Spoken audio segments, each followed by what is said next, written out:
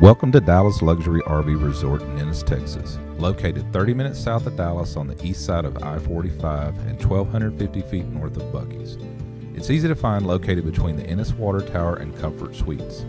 Construction is in progress, developing 95 luxury RV resort overnight parking spaces, among other amenities. For additional updates, follow this YouTube channel.